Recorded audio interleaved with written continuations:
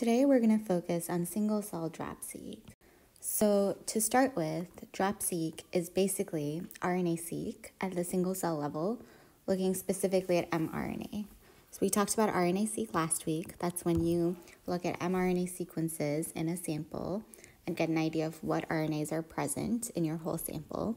The difference here is that we're looking at single cells rather than all of our pooled cells and that we're looking specifically at mRNA rather than all of the RNAs in the cell. So just to walk through this slowly, with RNA-seq, let's say that you start with one plate of cells for each sample, okay? So this one plate of cells is going to receive whatever treatment you're interested in or whatever condition you're interested in, and then you're going to extract all of the RNA from that one plate of cells and you're going to pool it. So this is pooled RNA. That means that every piece of RNA that was in here is now in this sample. And then you're going to send that sample to RNA-seq, to sequencing. So this is basically giving you an idea of the bulk RNA in your sample. It's saying that on a global level, when I treat an entire plate of cells with my condition, on a global level, these are the changes that happen. So let's say that I find out that gene A is elevated afterwards. That means that gene A is elevated in enough cells in this plate. So let's say it's elevated in like, you know, 70% of the cells in this plate. And that means that when I look at this global situation, I'm going to see that gene A is up. But it doesn't mean that gene A is elevated in every single cell in my sample. It just means that on a global level, there's an increase in gene A across all of the cells together. So this is looking at all your cells together. It sort of pools the sample and tells you that in a broad way, on a global level, this is what's happening. DropSeq is RNA-seq at the single cell level, like we said. So now you have one plate of cells and you have, you know, all of your cells in this plate and there you've exposed them to some condition that you're interested in. But now instead of doing pooling the RNA and sending it off for sequencing, you're actually going to take every single cell individually and you're going to send every single cell for sequencing individually. So rather than being a bulk measure, this is the individual measure of every single gene in every single cell. So now if I look at gene A, I would actually be able to see that gene A is up in 70% of the cells, like we said before, and that 30% of the cells maybe actually have gene A down. And maybe there's some difference between these groups of cells. Maybe these cells are cells that are differentiated, and these cells are cells that are more stem-like. And maybe that's why we're seeing a difference in how they express gene A. So it sort of gives us more information at a higher resolution than this RNA-seq would have given us because in RNA-seq we would have just seen, oh, gene A is up. But here we know gene A is up in these cells and it's down in these cells. So it allows us to see really cell by cell what is happening to our gene of interest. So now that we understand a little bit about how DropSeq is different than RNA-seq and how it allows that higher resolution, we can talk a little bit about the pipeline. So last week we talked about the RNA-seq pipeline. And the RNA-seq pipeline, the way we talked about it is that you set up your screen and you send it for sequencing. Then you look at the quality of your sequencing files. Then you look at sample quality. So here you're going to generate your count table. And then you're going to look at sample quality. And then you're going to do your actual analysis algorithm. So this tells you your full change and your p-value. And then we're going to generate our visualizations. So these are the visualizations.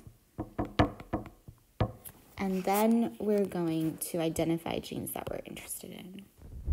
So like I talked about last week, all sequencing applications have very similar pipelines. So no matter what kind of seq I'm doing, it's going to be somewhat similar. I'm going to send a sample for sequencing. I'm going to evaluate the quality of that sequencing file. And I'm going to use some sort of computational algorithm to define which genes have changed and how significant those changes are. And then I'm going to be able to identify genes of interest. So the overall pipeline of DropSeq is not that different. There's just a few key differences that we need to take into account. So one is that when we set it up and send it for sequencing, our setup is a little bit different than before because we have such an increase in sample number. We're going from 1 to 1 million cells or 1 million samples. So the setup has to be just a little bit different to account for that. But then we still send it to an Illumina sequencer after we've set up our samples appropriately. And that Illumina sequencer is still going to give us a FASTQ file, and we're still going to run quality checks on that FASTQ file with FastQC, exactly the same way. And then this FastQC and sequencing file, now that we know that the quality is good, is going to generate a count file as well. This count file is going to be just a little bit different, but very much the same idea. And then we're going to be able to assess our sample quality, which again is the same idea of looking for similarity and making sure that your replicates cluster appropriately, that samples are behaving as you expect. Then you're going to do your data analysis, and the algorithms here change a little since we're using a different um, a different number of samples. We need to account for the larger number of samples. Our visualizations change slightly, and we'll go over these new types of plots. We can also do heat maps here, however, and those are something that you're very familiar with at this point. And then we can again identify specific genes of interest from this analysis and these plots because this gives us the same sort of idea of like what is changing and how significant is that change. And that's really what we need to know anytime we're trying to pick genes of interest. So you can see that this is very similar to RNA-seq. So I just want to pause here and say that if you don't understand RNA-seq or if you haven't watched the RNA-seq video, it would be a good idea to go back and watch this video so that you really understand RNA-seq because DropSeq really builds on many of those concepts. Okay, so we've talked a little about the differences. Now I want to walk through step by step for DropSeq and its pipeline and make sure we really understand the things that are changing. So this slide is from the original paper that described DropSeq. It's their figure explaining how DropSeq works. And I want you to understand that if you're just starting out and you're just trying to understand how these experiments work, you don't need to worry too much about the exact, you know, fluidics and exactly what's going on in this setup. It's a little bit complicated and the important thing is that you understand the main ideas of what is going on here. So let's start at the beginning. So, for the first step in your experiment, you're going to perform whatever experimental condition you are interested in. So that's right here. And this is just like RNA-seq. You can do all the same things. You could do cells, you could do animals, you could do human samples, you can do conditions that involve treatments or time or both. Um, so you can really do the same range of experiments that you would have done with RNA-seq. It's not that you're limited in your sample in any way. The important thing, though, is that then once you've done your treatment and you've looked at whatever you're interested in, that you turn the sample into cells.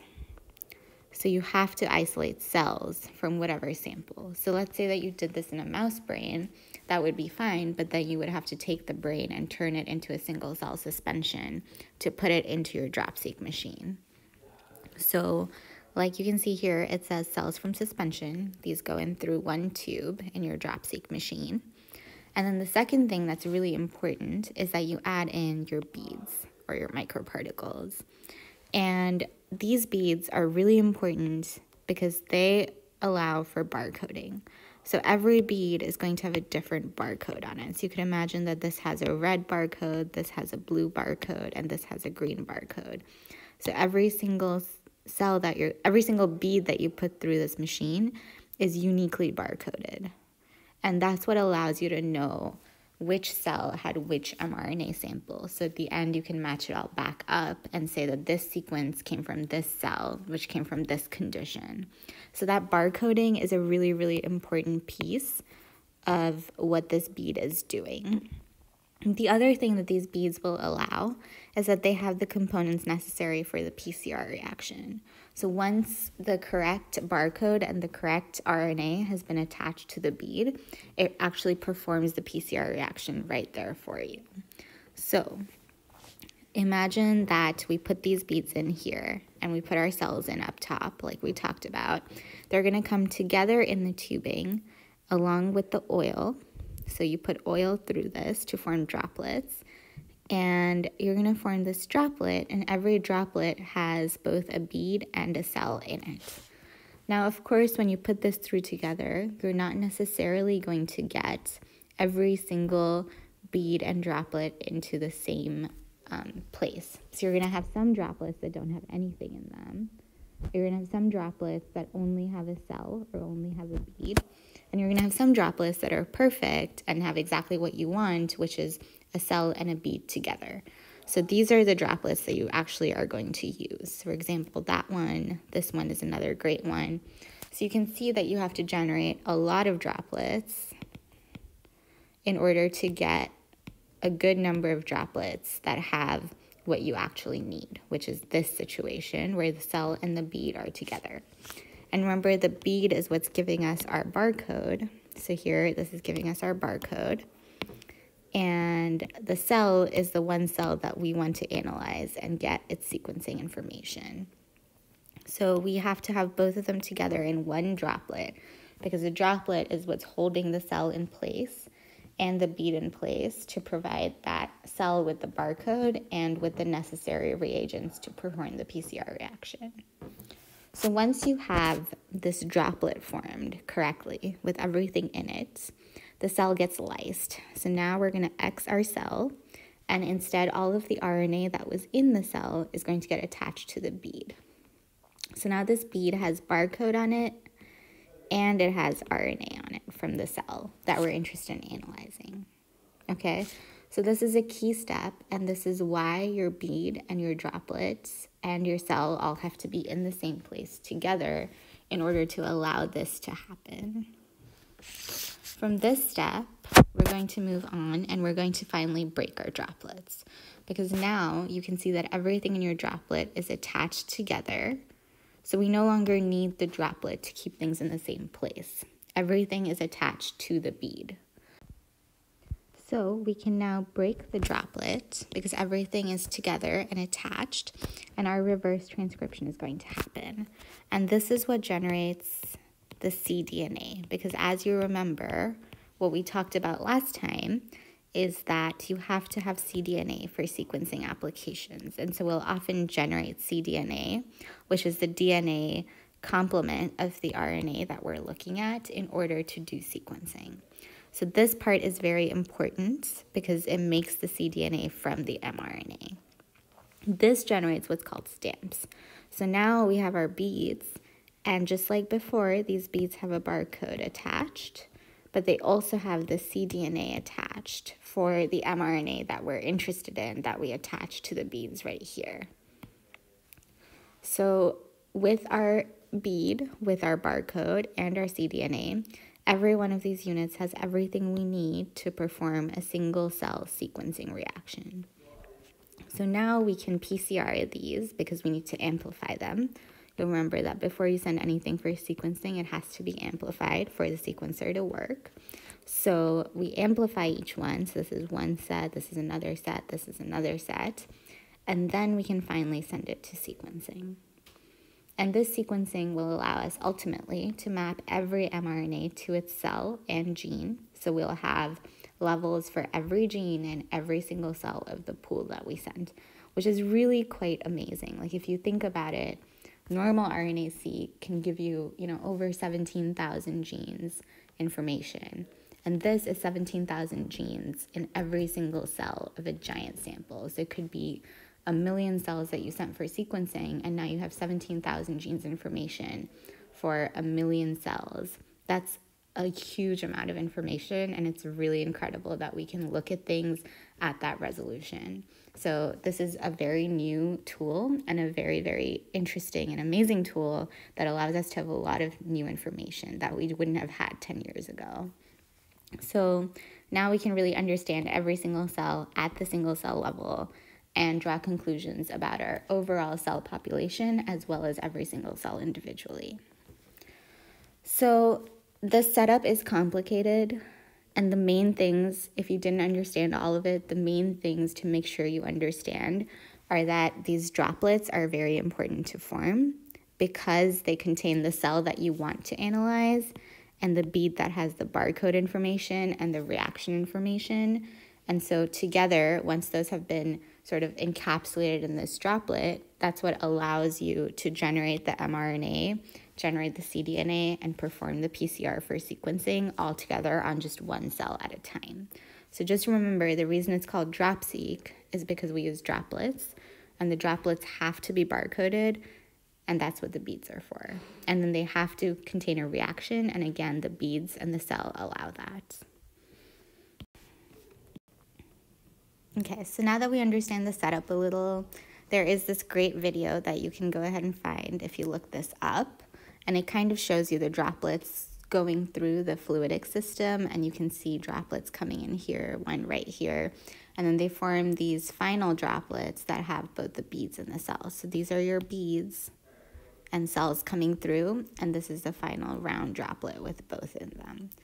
And this is a picture from our lab where you can see the final droplets. So these large things are the droplets, and within them you can see cells and beads together. So now that we've talked about setup, the next step is you're going to set up your screen, right? So you're going to do the droplet thing we just talked about. You're going to send it for actual sequencing. And then, like we talked about with RNA-seq, you're going to get a FASTQ file out.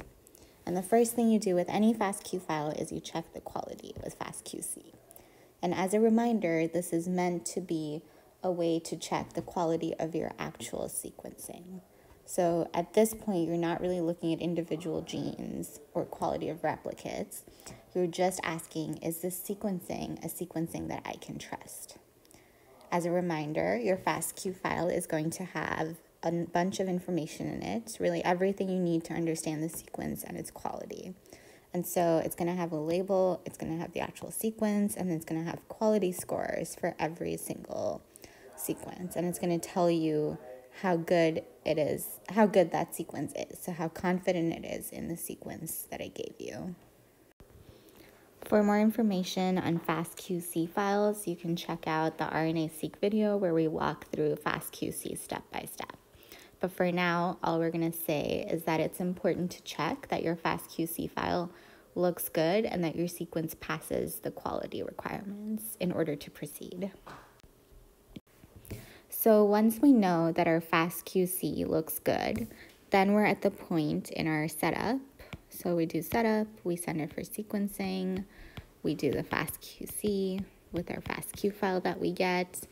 And then we're at the point where if our FastQC looks good, we can use the sequencing files to generate our count table. So this is a table where we actually summarize for every gene and every cell how much is there in the sample.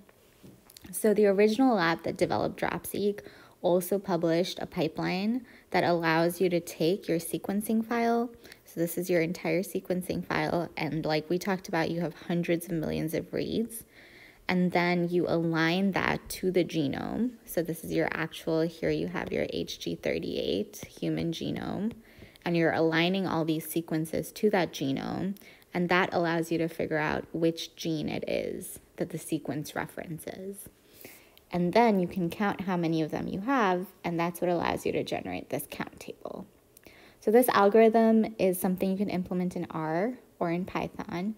It's a little bit complicated, and I don't want you to worry about exactly how to code it. The lab does provide a good walkthrough of how to use it if you needed to, but I really just want you to understand how it works. So I want you to understand that you're taking all of your sequences that you are matching them up to the genome. And that match allows you to figure out which gene you're looking at, and the number of matches allows you to figure out how many of that gene you have. And then you generate a similar count table.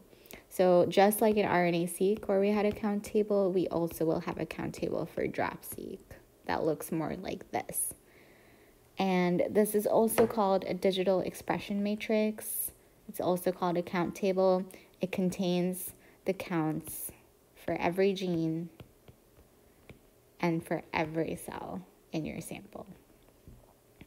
So let's look at more detail for this count table. So last time we talked about the RNA-seq count table. And we said that you're going to have all of your genes along the sides. You're going to have gene A, B, C going down to like gene N. And you're going to have all of your samples. So you have three replicates for your control and three replicates for your treatment and so on. You would have three replicates for any sample that you sent. And for every single sample, remember that this is a bulk sample, so you've pooled the entire sample and generated one count for one gene.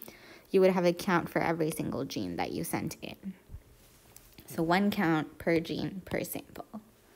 For DropSeq, you're going to have one count per gene per sample per cell. So every cell in your sample gets its own count for every gene. So that means that now, instead of having just one count table, you're going to have multiple count tables. And for every single sample you send in, so let's say this is my T3 sample, so it's a third replicate of my treatment. I'm going to have every cell in that sample going up to 1 million cells, and every gene in that sample going to at least 17,000 genes probably more. And then I'm going to have a count for every single condition. So for my third treatment sample, for every cell in that sample, I'm going to have every gene counted up. And I'm going to know that in cell one, for gene A, I have five copies, and so on. So it provides a much, much higher resolution and it's very important to have your counts in this format for each sample in order to analyze them. So your cells are always going to be the columns and your genes are always going to be the rows. So now that we have this count table, you're going to basically clean up and assess quality of count tables. So again, this is just like RNA-seq, where in RNA-seq we looked at sample similarity, etc you're going to take a minute in your DropSeq pipeline to clean everything and check the quality before you continue to figuring out which genes are elevated and which genes you should be interested in. So this cleanup process is definitely complicated and it's not something that you would have to implement if you were not analyzing your DropSeq by yourself. The package to do this is called Seurat and it's a great package that you it provides a really good walkthrough of how to do it step by step. But here, I really just want to summarize the major steps involved in this cleanup. So, the first thing you're going to do is you're going to look at all your accounts and look at the distribution of those counts. And you basically just want to make sure that they follow along a logical distribution, that there's no crazy outliers in your distribution of counts. So, if you have a bunch of genes that were zero for some reason, those would be outliers and you should get rid of them so that you can have a good clean data set to analyze. So you're removing any outliers in your data set and you're checking the distributions. Sometimes for DropSeq, we will isolate cells from animals. And when we do that, it's really important to separate the species. So if I implanted a tumor into a mouse and then I was analyzing it by DropSeq, I would want to make sure that there were no mouse cells contaminating my sample. So I would get rid of all the mouse cells and keep all the human cells in my sample. And Seurat offers ways for you to do that and make sure that you're looking at the right species. Sometimes it might be interesting to look at both, in which case you would want to make sure that you separate the sample and look at what's appropriate. The next thing you're going to do is normalize the data and transform it. And these are simple functions within the package that just allow you to make the matrix more manageable and allow the rest of the analysis to occur. And then finally, you're going to think about how many clusters you want to introduce into your analysis. So we'll talk about this a little bit more on the next slide. But the major things to understand here are that you are cleaning up your samples so that you can do all of the necessary analysis because you have such a high number of reads and so many samples that any dirt in the data will really mess up your analysis moving forward. Okay, so let's talk about that last clustering piece. So if you remember last time for RNA-seq, we talked about PCA plots. So this is part of your quality assessment after you have your count tables. And we talked about them as a way to assess similarity. And if you remember, our plots look something like this, where we would have three dots clustered here and perhaps three more clustered here. And this was PC1 and this was PC2. And this was just a way to say, okay, these three samples are more similar to each other than they are to these three samples because they're clustered together in space. So more similar means closer together on your PCA plot. And now we're going to expand this idea to be on the single cell level. So this is exactly what we did before, except that now we have far more samples to plot. Because now, instead of sending three pooled samples, we sent like 1 million samples. So we have 1 million dots to plot in space and see whether they cluster together or not. So this plot here is another PCA plot, and this is just an example. So I have not told you what sample all of these dots correspond to. I'm just showing you how they cluster in space. So you could imagine by just looking at the clustering that perhaps these are all from one sample, these are all from a second sample, and these are all from a third sample. Because again, they're going to cluster together in space. And that's what tells me that they are similar to each other. Okay?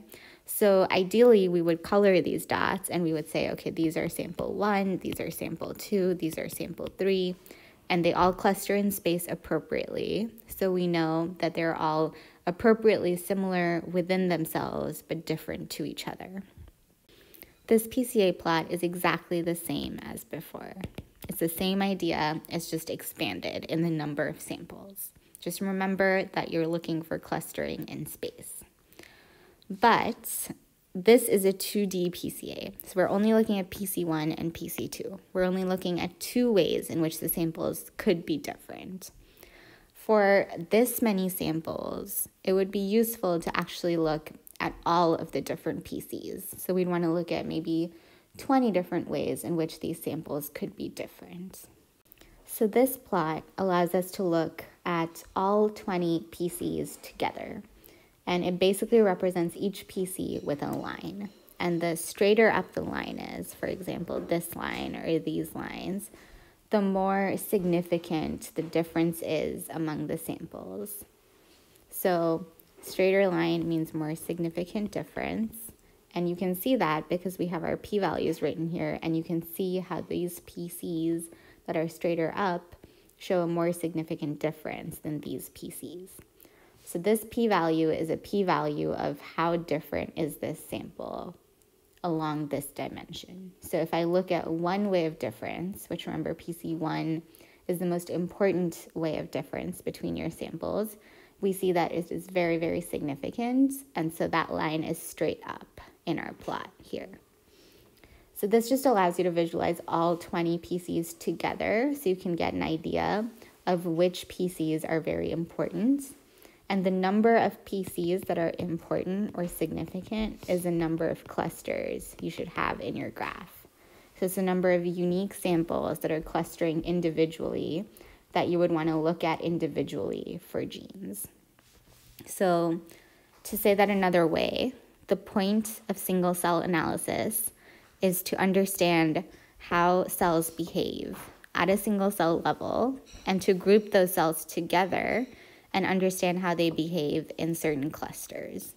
So if I sent three samples to sequencing and I sampled every single cell in those samples, then I ended up with this PCA plot where I see my three samples.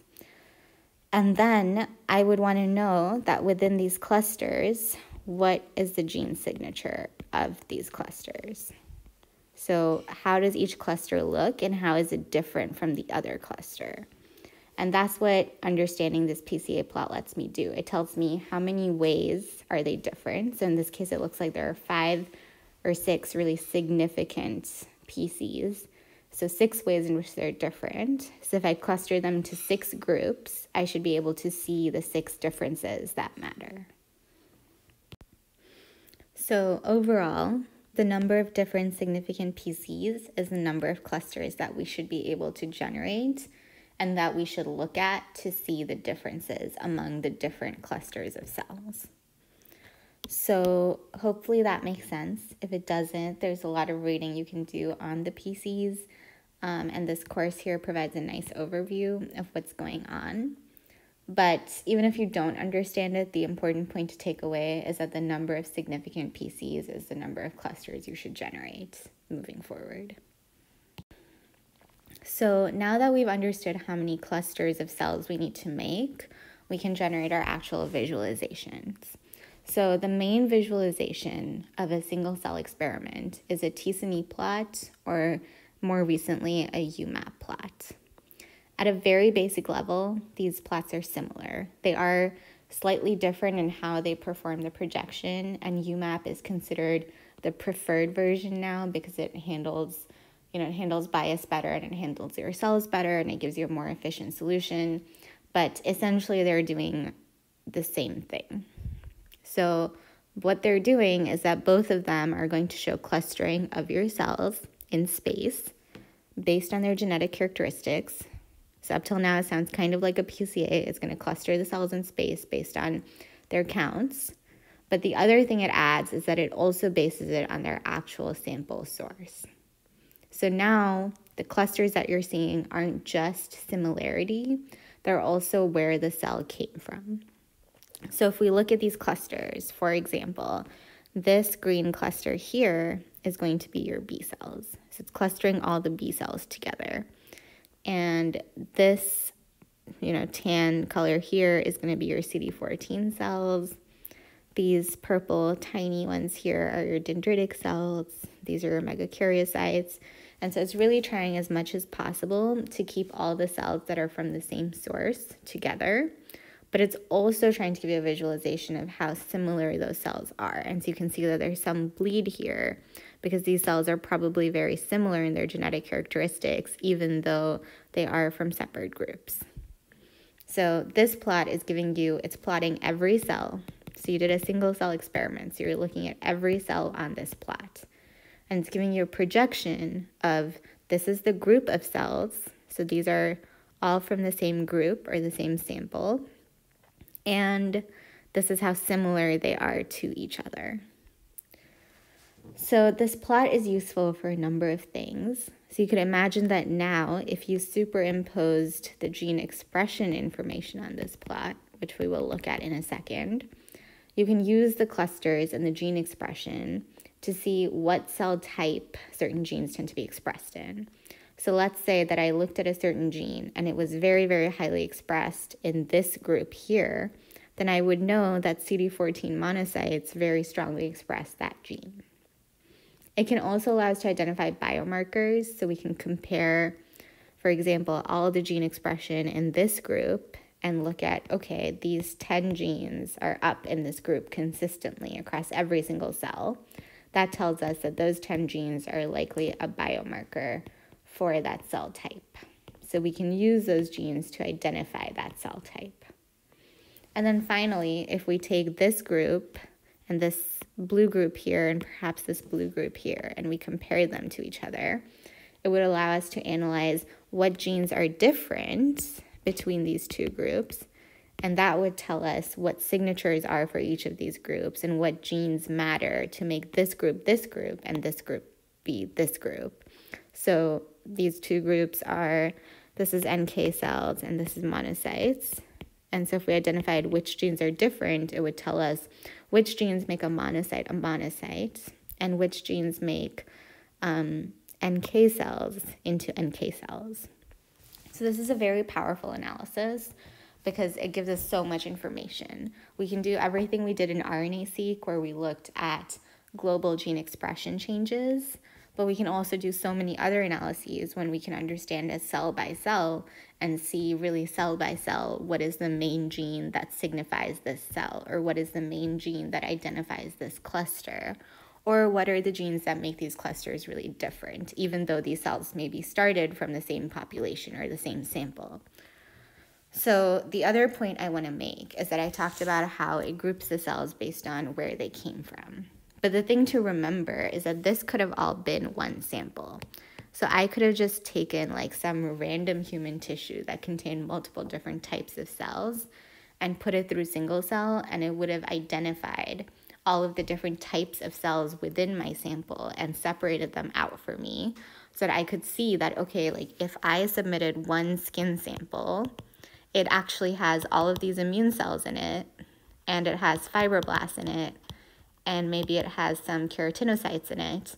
And this single cell analysis would have separated all those cells out and shown me gene expression patterns for each group of cells individually and each cell individually. So that's a very powerful tool. Okay, so now let's look at specific plot types that we might use. So the basis of all of these plots is still going to be our UMAP or T-SNE plot. And this plot is again going to tell us basically which group is which group. So it tells us this tan group you're seeing here corresponds to this type of cell. This red group you're seeing here corresponds to this type of cell, and so on. So this plot is your reference for how the groups look and what cell type they correspond to. So once you know what cell type you're looking at, there's a number of ways to look at the genes that you're actually interested in. So remember, again, these colors are the groups of cells, the types of cells that we're looking at. And these plots are the gene expression. So it's showing you two different things. This color does not match with this color here. But both plots are giving you important information to interpret. So if you imagine that these are numbered 0 through 7, so this is 0, 1, 2, 3, 4, 5, 6, 7, then you can match these numbers up to this plot. So this group 0 here is going to be your CD4 cells, and this group 5 is going to be NK cells, and so on. So that tells you that within each group, if we plot the expression of NKG7, which is our gene we're interested in, we can see how it behaves within each group of cells.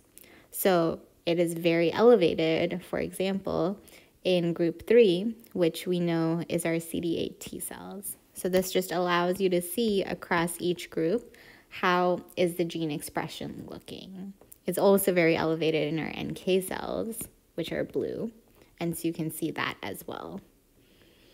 Um, in this case, the colors actually have been corresponded, but always be careful about that because sometimes they're not corresponded. So you want to make sure you actually match up the group that you're looking at on the x-axis and then look at your gene expression levels so you can figure out which group has elevated gene expression for the gene of interest. So for PF4, we can see clearly that PF4 is really only expressed in our last group, which is the megakaryocytes. This allows you to together interpret both how your groups look and how they're clustering and also how specific genes are expressed within those groups. So these are called violin plots and they're a very common visualization of single cell data. Another really common visualization of single cell data is to actually take this cluster plot and then superimpose your gene expression upon it.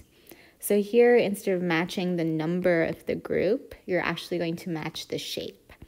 So here we can see that this shape is very colored in. And so that tells us, based on this heat map next to it, that there's high expression of this gene, MS4A1, within this group. And if we match this to this, we know that that group is this group, which corresponds to our B cells. You can also see, for example, that PPBP goes really high in this group, which is this group, which is our megakaryocytes. CD14 appears to be really strong in CD14 monocytes, which does make sense because they're called CD14 monocytes. And so you're basically matching shape to the shape of the T-SNE plot, and then you're looking at how blue it is for the expression of the gene you're interested in. So this is another very common visualization. And the nice thing about it is that it allows you to see all the information in one plot. So it allows you to see the groups in one plot and how they're clustering. And it also allows you to see expression in the same plot and see how high that expression is in each group. So it's a very nice visual of everything that's going on together.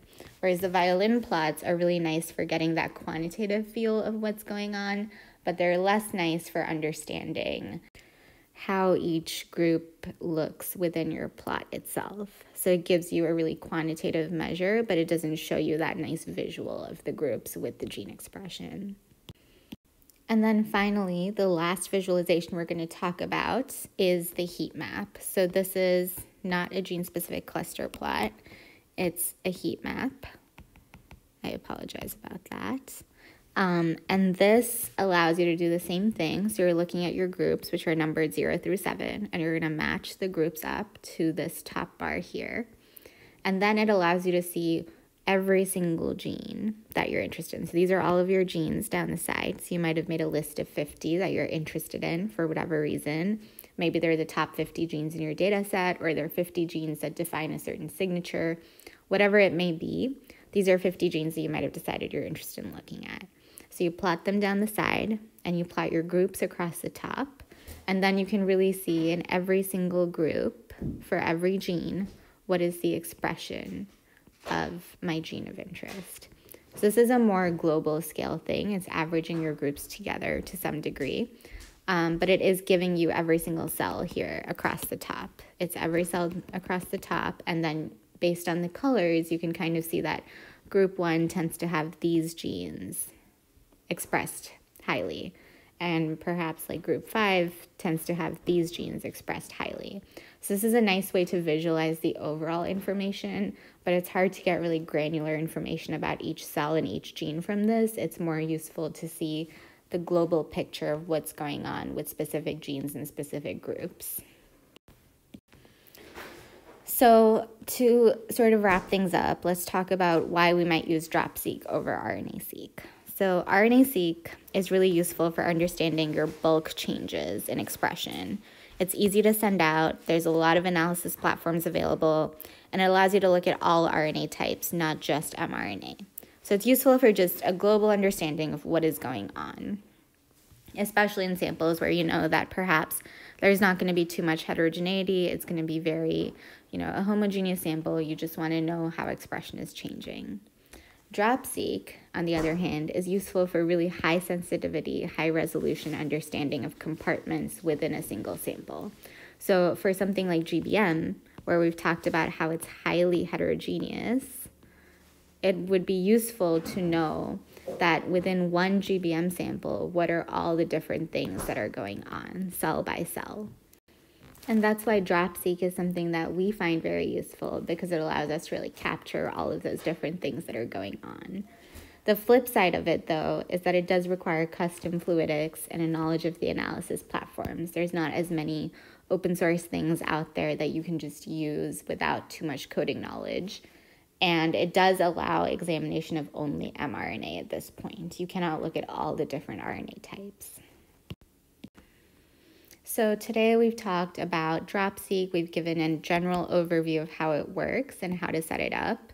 We've talked about the analysis pipeline and how you walk through understanding what all of it means. And finally, we've talked about some visualizations and how to interpret them.